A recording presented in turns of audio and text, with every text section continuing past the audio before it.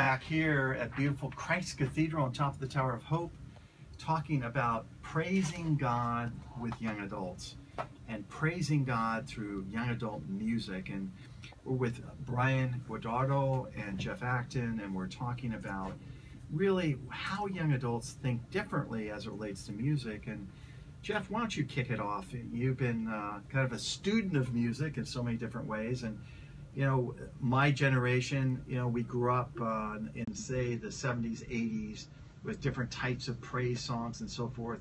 But I noticed that the young adult praise songs seem to be different. And tell us about about the praise songs that young adults are attracted to. Well, I think it all starts with our parents. Whatever they listen to obviously influences us. And so that being said, you have the traditional choir music going on at church usually. But then you start to hear guitars come in, which has been brought in in the last, what is it, few 40 years, I would say, depending on the parish. And then that's where it really starts to go, oh, hey, there's guitar. And for people in my generation, a guitar added with, say, a piano or a drum kit really reverberates in their soul. They can feel it in more layers than just vocally or just with one instrument like a piano. Or even, you know, a different type of guitar, right? Because my generation, the older generation here, baby boomers, would be what's it called, acoustic guitar? Yeah, yeah. yeah. And and tell us more about about what types of, of music as well as as uh, instruments right now for the young adults that would uh, appeal to them. Well, um, I think that young adults are kind of coming out of that, you know, teenage phase of, you know, the EDM or the pop or the rap uh, whole uh, feel of it. And I think that sometimes when it comes to young adults, it doesn't even, it, it's certain instruments like just simple guitars, simple pianos, simple strings uh, are a little more soothing to the soul, you know? And we're getting into that age, the young adults are, where we are, uh, we're definitely getting into the grind of working and trying to establish ourselves and our families. And we are uh, in this, we're in this hustle, you know, to say the least. And sometimes I feel like too much commotion and too much uh, involvement in uh, the instruments can sometimes uh, have us take a step back and realize, you know what, there's too much going on, I can't think. And uh, I think we're also seeking simplicity in music when it comes to the guitars, the, the vocals, the pianos, and um, less is more, at least for, for, for me, uh, sometimes when it comes to music and praising God. Uh, even the simple repetition of uh, certain words or phrases or sounds can be a meditative uh, way of, of praising God. You know? Jeff, in terms of the history as it relates to the evolution of young adult praise music, tell us more about that. Well, you have Matt Maher for one, and he's a wonderful Catholic artist. And he's taken it from some very complex stuff to some very simple breakdowns, where it's just him and acoustic, and that's it. And then he might put in some electric and a full band. And then you have bands like Jesus Culture, where they take the vocals of it and just draw it out to some beautiful, spacey kind of stuff where it feels like you're praying with heaven. And when you have breakdowns of the two, it really flows to each different individual's person. Because the soul itself, I mean, we're all different. God created us all different but all equal. And we need different types of praise to speak to each of us specifically.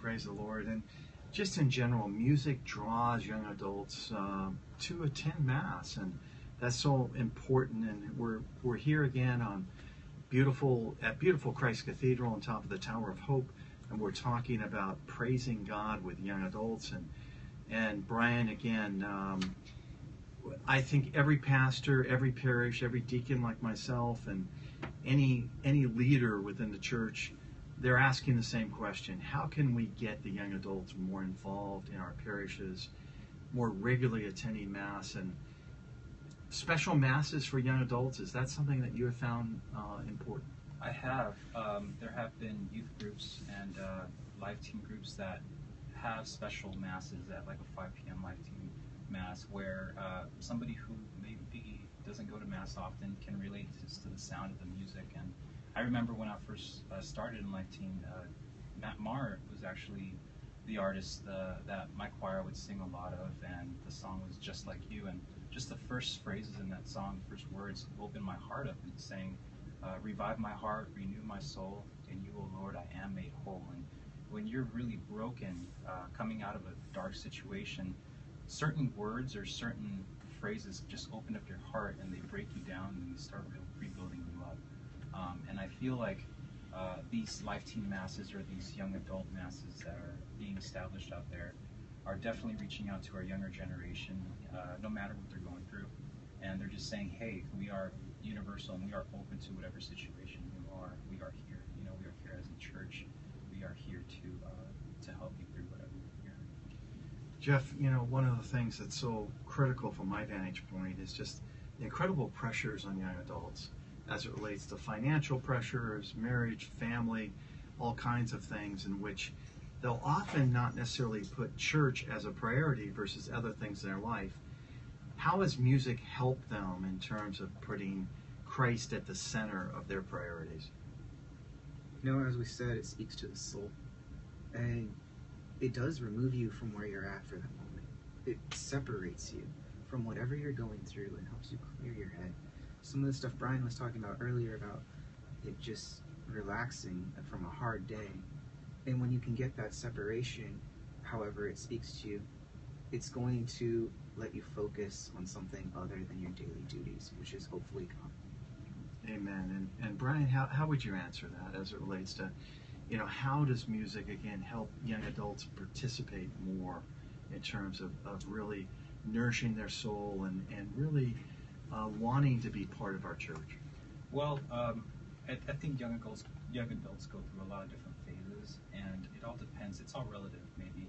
Um, some young adults are like going through some hard times with family, and some are just questioning their existence or their purpose in life. You know, uh, and I find that praise music, at least for me, and it was one of my topics, was um, praise music often makes me look outside the window. You know, and when I look outside the window, I see the sky and I see the clouds and I see the sun and I see God's creation, God's beauty.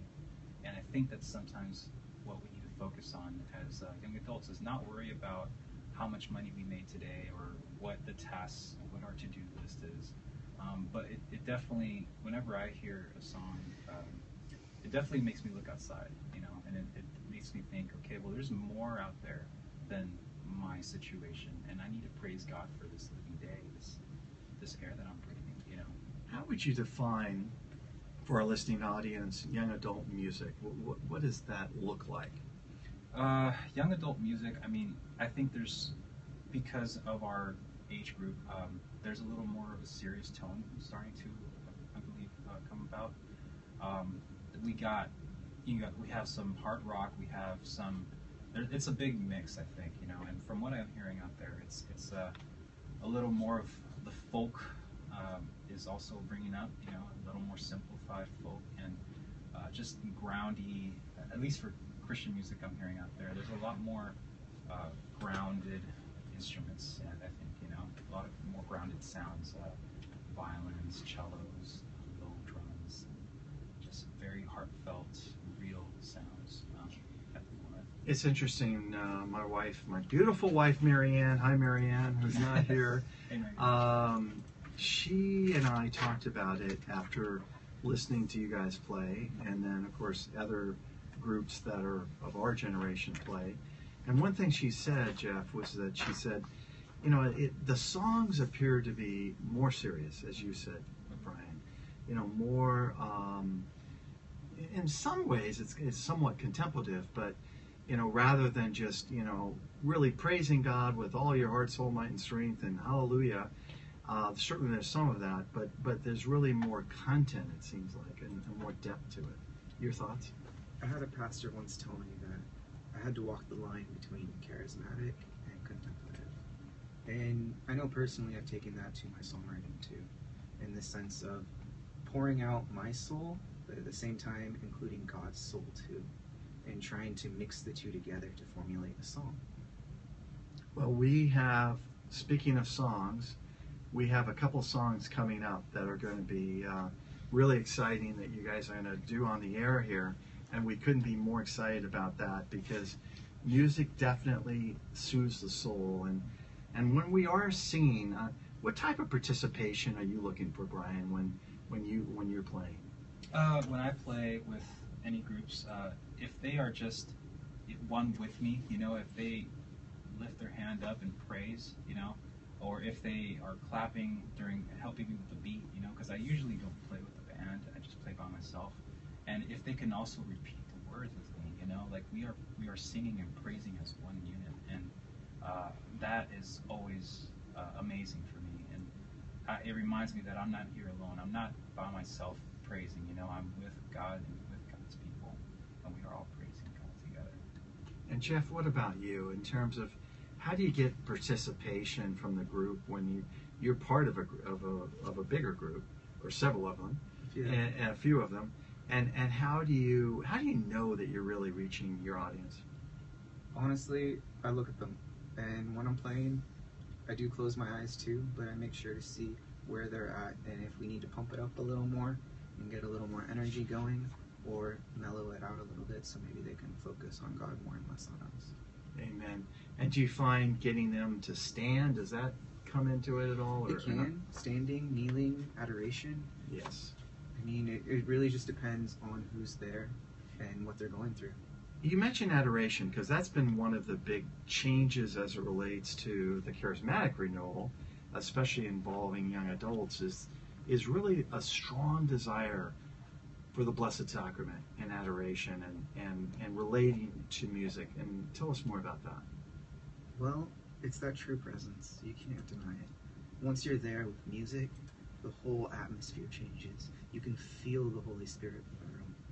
And I really do believe and know that everybody who goes feels something. And generally, they all leave happier and in a better. Hallelujah. This is Deacon Steve Greco. We're here at Beautiful Christ Cathedral, and we're talking about praising God with young adults and young adult music. And we have a treat, and so please, please listen in. We'll be right back after the break, and we will actually hear these wonderful gentlemen sing and play their guitars. So we'll be right back.